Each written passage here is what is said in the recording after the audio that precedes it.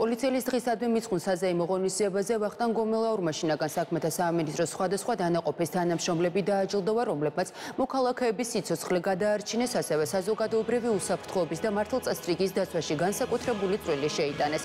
პოლიციელის პროფესიული დღის აღსანიშნად ღონისძიებები გუშინ შინაგან საქმეთა სამინისტროს ადმინისტრაციულ შენობასთან გაიმართა. სალამებით ბატონო პრემიერ-მინისტრო, ბატონო იმ პოლიციელებს, რომლებიც მარტო პირველ რიგში ვისარგებლებ და მინდა მიულოცო ყველა შინაგან საქმეთა სამინისტროს თანამშრომლებს, როგორც ტრიბუნი და მიულოცე უსურვო წარმატებები, ეს ძალიან მნიშვნელოვანი დღეა ყველა ჩვენთაგანისთვის და კიდევ ვისარგებლებ ეთერით კიდევ ერთხელ და კიდევ ერთხელ ყველას მიულოცავ. ყველა პოლიციას ულოცავ პროფესიულ დღეს, თითოეულ მათგანს მინდა უსურვო კარიერული წინსვლა და წარმატება.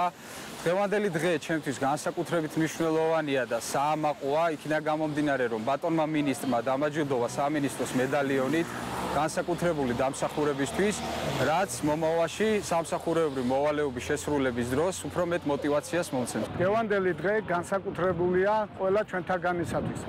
განსაკუთრებით მათთვის, ვისაც გადმოგვეცა ბატონი მინისტრისგან ჯილდო მამაცობისათვის. იყო მეხანძრე მაშველი და ზრუნავდეს ქვის სიცოცხლეზე, ძალზედ საპასუხისმგებლო და საამაყოა. მინისტრმა დამაჯილდოვა განსაკუთრებული დამსახურებისთვის, რაც ძალიან საამაყოა.